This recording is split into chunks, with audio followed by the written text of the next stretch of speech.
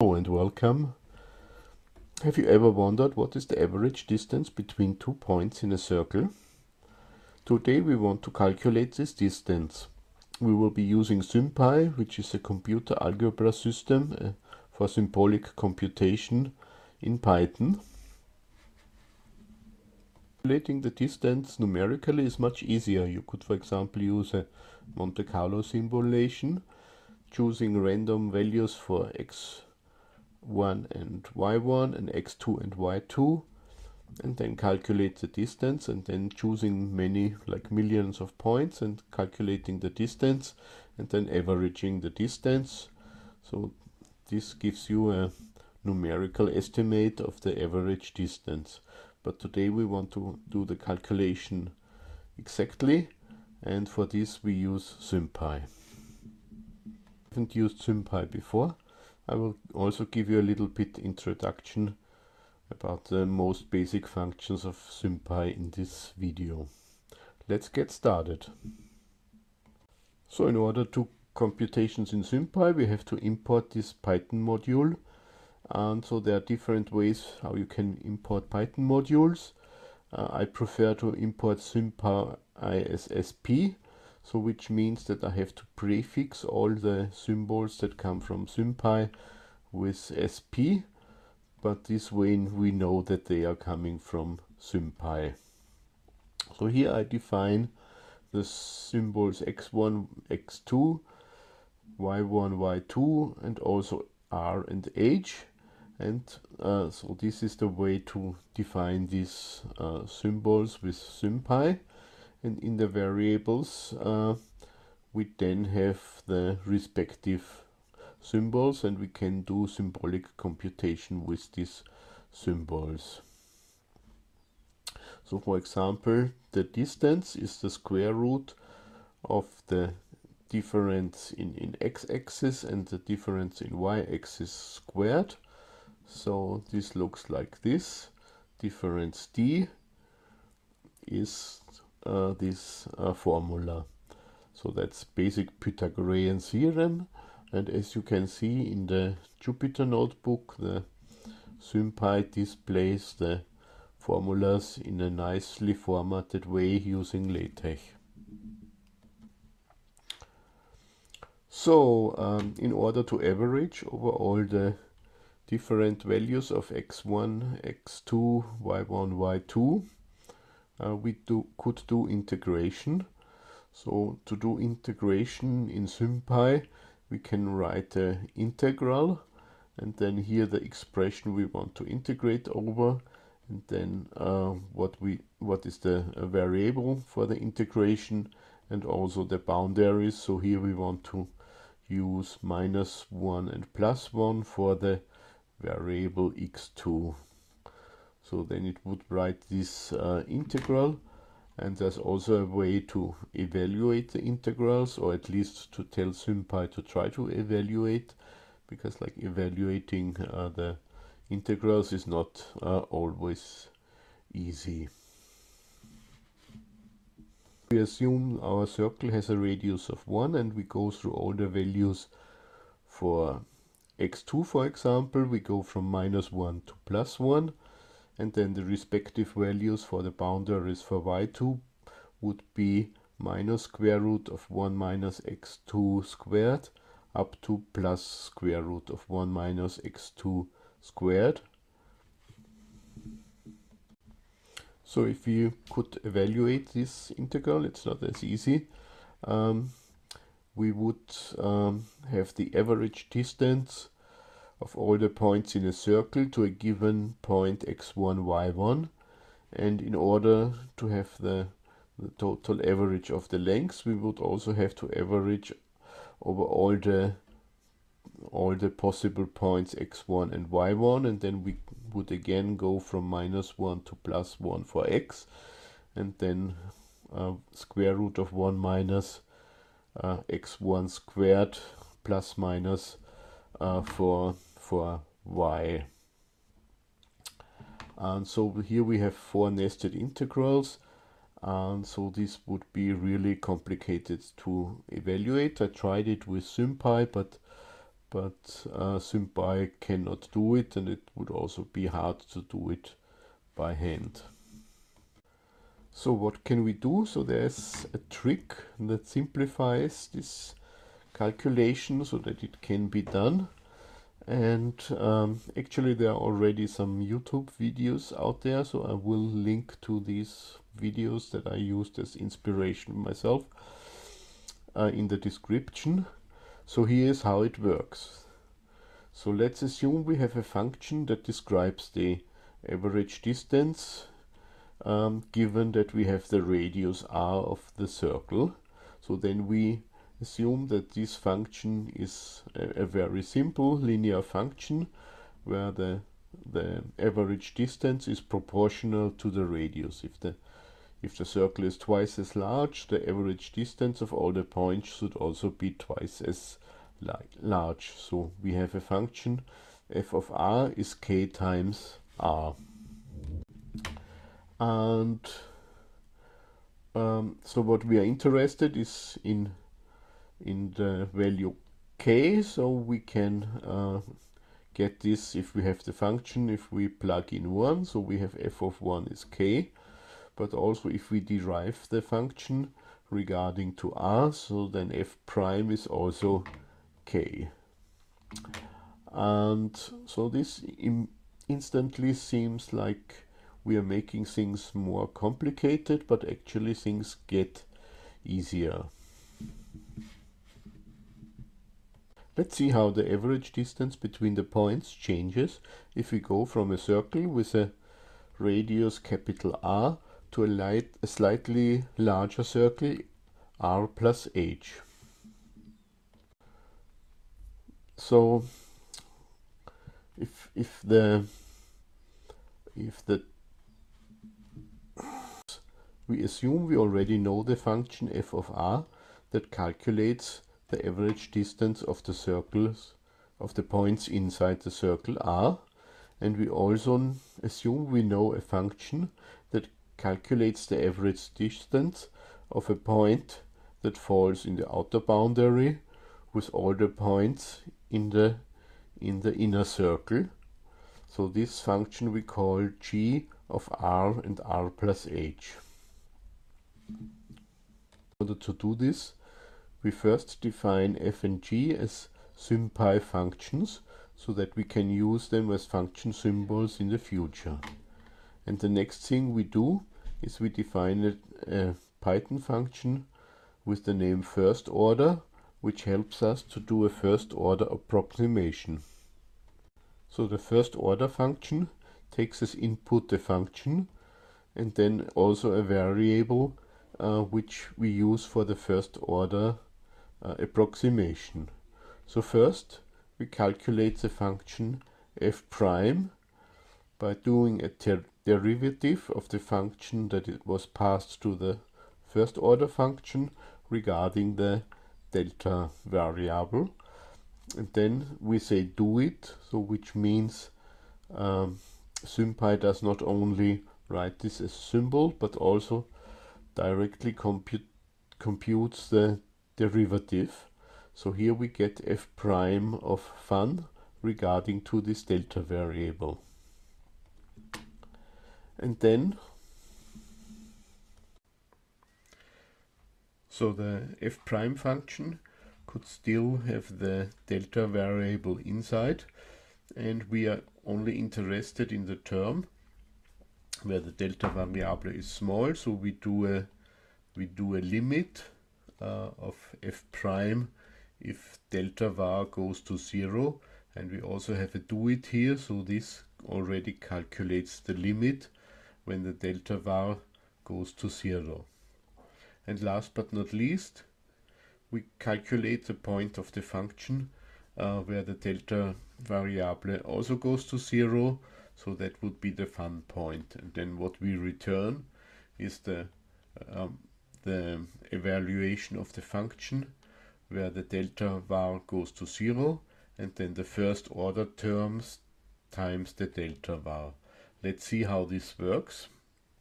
For example, if we have the function x1 plus h squared and we say h is our delta variable. So then uh, the, the first order Python function will return the following term. So here we have uh, uh, x1 squared.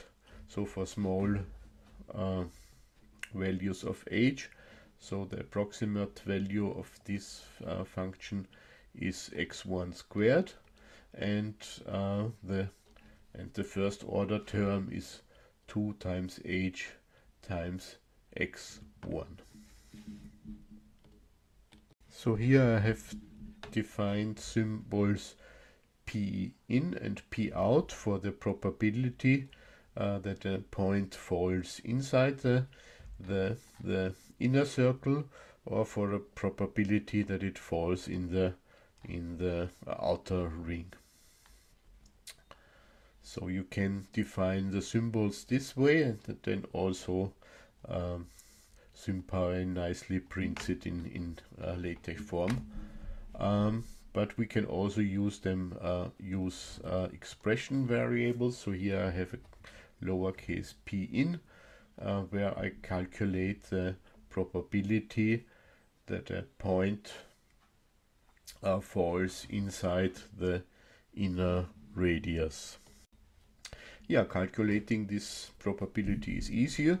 The probability that a point falls inside of this um, circles is proportional to the area of the circle. So there's a 100% chance that it falls in the circle r plus h and a slightly smaller um, probability that it falls in the circle r. So the areas are proportional to r squared.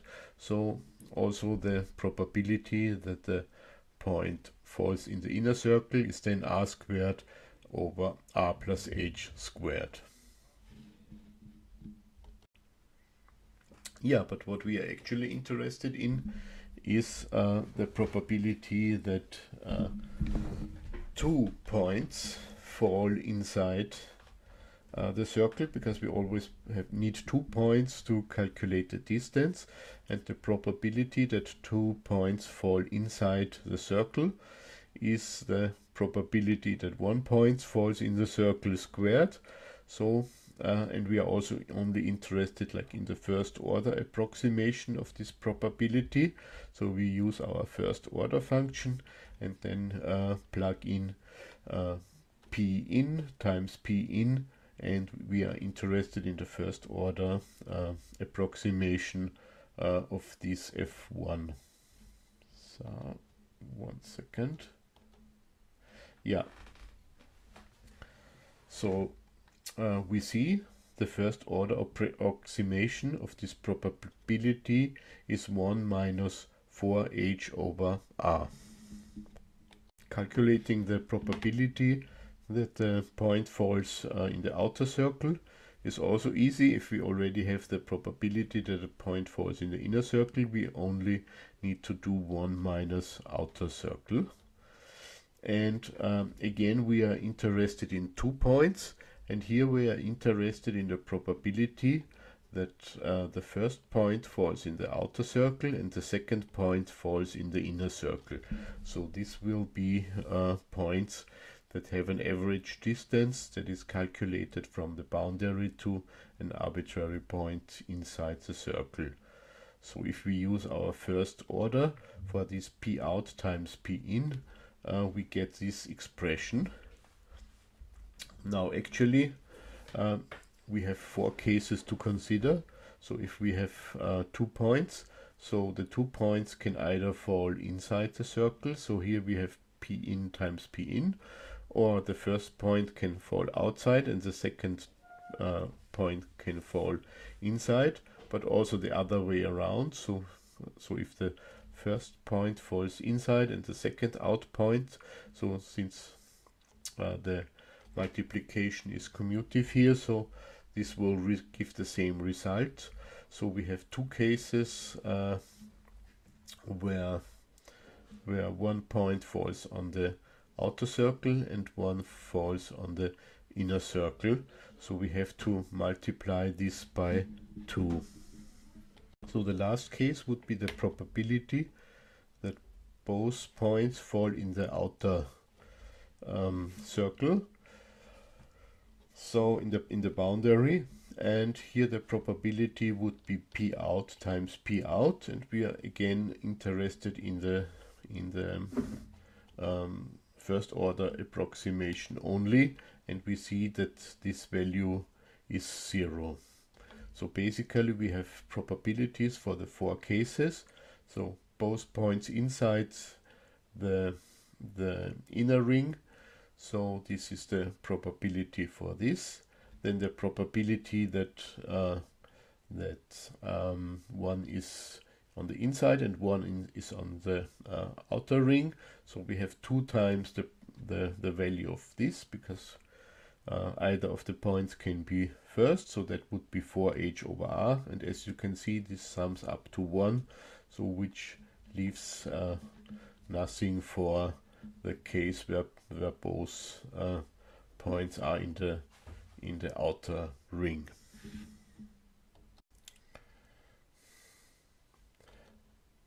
So uh, we define a symbol k and then we have the equation equation 1 and this equation is f plus f uh, evaluated at r plus h. So the the new uh, average distance is the probability that both points fall in the uh, inner ring. Uh, so, and if this is the case, we we have the average distance f of r, and then the probability that uh, the the that one point falls on the outer ring and one point falls on the inner ring. So there we have the probability for h over r. So 2 times uh, this expression uh, times g of r. So g of r is the average distance of, uh, of all the points to one point on the outer boundary. So and we, we call this function g of r. And so this is the equation of what happens if we increase the radius of our our circle by a small amount h. So to simplify this equation, I want to subtract uh, f of r from both sides of this equation and unfortunately there's no um, no nice function in SymPy to do this. So I define a Python function here the function both sides and the both side function takes an equation as input and then applies this function here both to the left hand side and the right hand sides and constructs a, constructs a SymPy equation out of this. And uh, we use this both side function to uh, to subtract uh, f minus r to both sides of this equation e1 so this results uh, in, in this equation. And then we divide by h. So if if we um, um, subtract f of r of both sides of the equation and then uh, then divide by h so we get the following equation. And as you can see we have here f of r plus h minus f of r divided by h. So which is kind of the der derivative of the function. And on the right hand side there's some room for simplification. So we will let uh, SymPy do this later. But as you can see um, so if we say uh, Python should calculate the limit of the left hand side where h goes to zero it sees that uh, this results in in calculating the derivative at the position uh, um, R. And um, if we if we do the same thing to the right hand side, so if we calculate the limit as h goes to zero of the right hand side, we then get expression 3 and expression 3 is, is like this term. So at the next step we we create expression e4 and expression e4 so we replace the the uh, left hand side of the equation which is which is f prime and we already know from the beginning that f prime is just a factor k. And on the right hand side uh, we we do a substitution of the previous expression where we substitute for for the function f of r. We substitute uh, k times r. So let's do this so then we get the expression where we don't have the function uh, f anymore but only the factor k.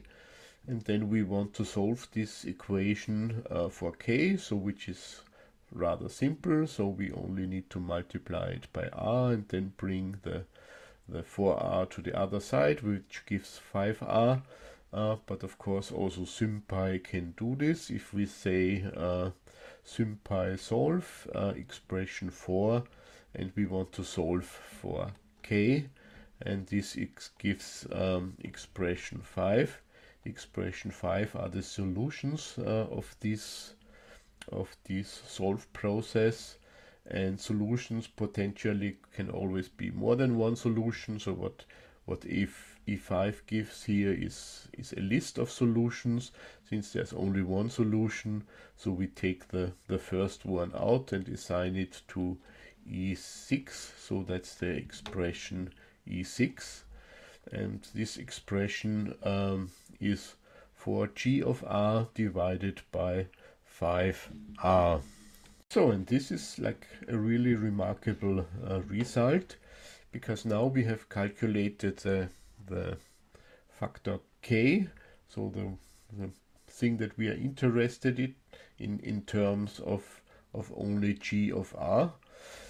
So this way we have a much simpler um, simpler computation, we only need to calculate uh, g of r, which is the average distance of one point on the border of the circle to all the points inside of the circle.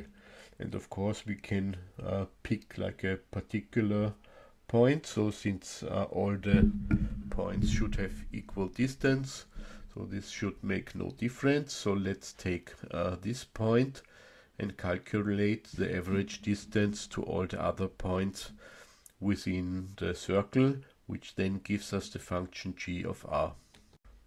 And once we have calculated g of r, we can then use this expression 5 to calculate uh, the the average distance between the points in the circle we just need to plug in g of r and then we get as a result e6 which is which is equal to k Okay, so let's do this. Let's calculate the average distance. So we have the point on the border, which is this point, and then we take all the points within the circle and uh, the distance uh, of the point to the inside points we call S. And the uh, angle here is, is, is alpha.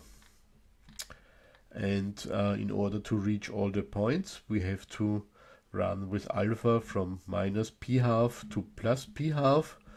And then we need to run from s from from 0 to the edge of the circle. So we need to calculate the, the edge of the circle. Let's do this. So in SymPy we define the symbols s and alpha.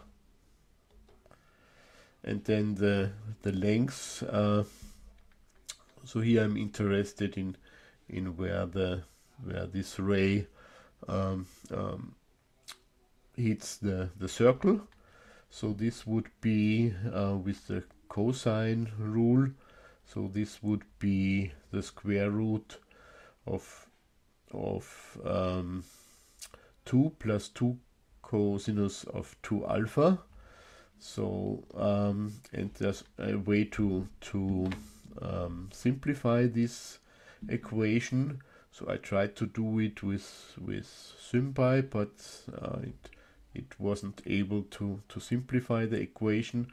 So I had to use a, a, a well-known formula where, where um, cosinus of 2 alpha is the same as 2 times cosinus of alpha squared minus 1 and I use the replace function to replace cosinus with with 2 times cosinus of 2 alpha and then this gives 2 times cosinus uh, squared alpha square root and the square root and the square cancel out so at the end we have the equation that that the maximum of s is 2 times cosinus of alpha. So this gives us a way to calculate the, the area of the circle so in a rather complicated way because normally you would not do this in, in this way. So if we go with alpha from minus pi half to plus pi half and then uh, the, s from 0 to 2 times r times cosinus of alpha uh, and we calculate uh, SDS uh, the alpha so this should be uh, the area of the circle if you look at uh, this picture. So the we are summing up about infinitesimal small squares with a with where the one length is uh, delta s and uh, this side would be s times delta alpha. So in order to sum up uh, all the the parts of the circle uh, we have to have an, an s inside of the of the integrand and this should then give us uh, the the area of the circle just to make sure that we do not have a an, an error in, in our formula here. So let's run this. So this integral and then if we use do it and then SymPy evaluates this as pi times uh, r squared exactly what we expected. But what we are not interested uh, in in the area of the circle, so we already know this. Uh, what we are interested is in the average distance uh, of this point uh, to these uh, small area areas. So we have to multiply uh, the the small area which is uh, SDSD alpha uh, times S. S is the the then the distance and with the SDS times S, we get S squared dsd alpha um, in the integral. And if we do the same integral here with the uh, S squared, so that's a rather simple integral. Um, if we do this, um, um, and div by the area, so then we get the average distance of of the points on the circumference towards all the points inside of the circle uh, and the result here is uh, 32r divided by 9 pi.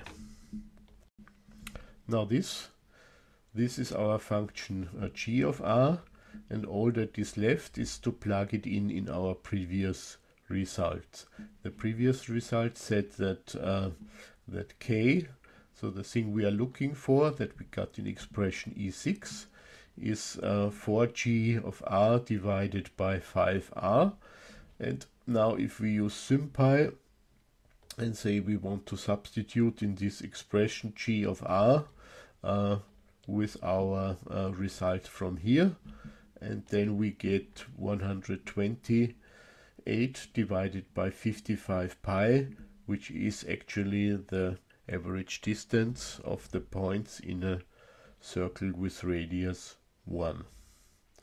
So that's it. Um, if you like it, uh, give it a thumbs up and um, I also linked the, the Jupyter notebook and the original videos that I used as an inspiration in the description.